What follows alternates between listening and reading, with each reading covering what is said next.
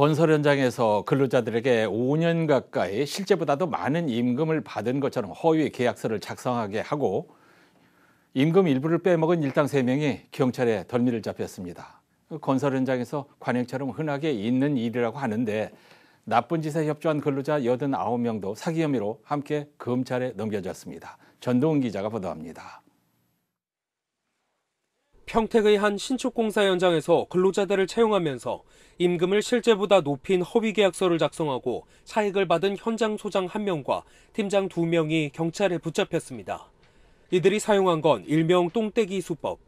울산 소재 업체 소속인 현장 소장과 현장에서 근무하고 있는 팀장 2명이 공모해 근로자 89명과 임금을 부풀려 허위 계약서를 작성했습니다.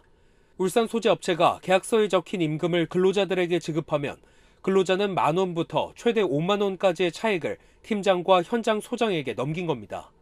이렇게 2019년 12월부터 지난 6월까지 4년 6개월간 676번에 걸쳐 가로챈 돈만 3억 8천만 원에 달합니다.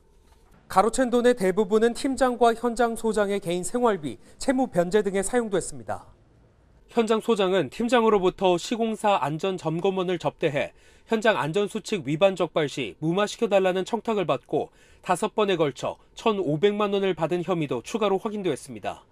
남부경찰서는 팀장 2명과 근로자 89명은 사기, 현장 소장은 사기 방조 혐의로 검찰에 불구속 송치했습니다. 허위 근로계약서 또는 어, 이중으로 근로계약서, 근로계약서를 작성하는 일명 동떼기 수법이 건설 현장에서 관행적으로 이루어지고 있습니다. 그러나 이러한 방법은 엄연히 불법행위이기 때문에 이런 건설 현장에서 일어나는 불법행위에 대해서는 경찰에서 엄중하게 대응을 하고 있습니다.